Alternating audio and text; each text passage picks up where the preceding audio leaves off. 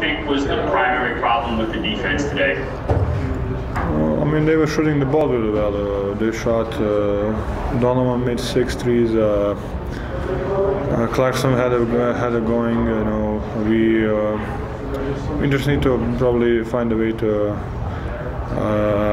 help each other and be a little bit more focused and know kind of because you can hear everything, so you, you kind of and coach, uh, you can uh, kind of know the place, so you kind of can anticipate what's going to happen.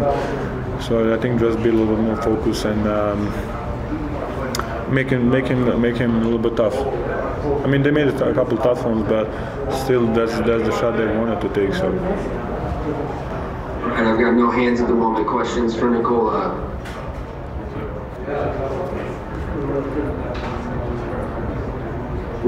We'll go to Mark Kiszla. Mark, go ahead. You've played really well as a team against the Jazz this year. How surprising was this outcome to you? I mean, it wasn't a surprise. It seems like the first quarter we kind of missed a lot of open shots, um, and uh, the, the, the, the, the, third quarter was the most. Um, they scored a lot. They scored 43, and we kind of. Um, they, they, they get the like the game get away from us. You know, they were they were just um, kind of put in another level, and we were just uh, we were just there. All right, next we'll go to Chris Dempsey. Chris, go ahead. Hey, Nikola, you're talking about that third quarter, and I, I bet, you know, the, the, last two third quarters have been a little bit of struggle for the, for the next. What needs to change in these third quarters to kind of turn them around for you guys?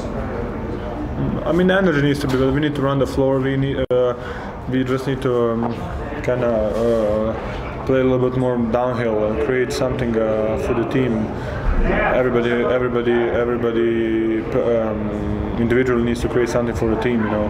So we cannot just wait and stare at each other.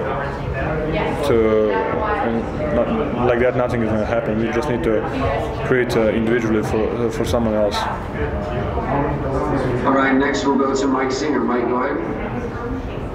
Nikola, um, you're obviously extremely familiar with Rudy. You guys have gone against each other a, a bunch of times. Uh, did it feel like today that it maybe got a little bit more physical between you guys, uh, in just in terms of that head-to-head matchup? It's always like this. I mean, I didn't feel nothing different to be honest.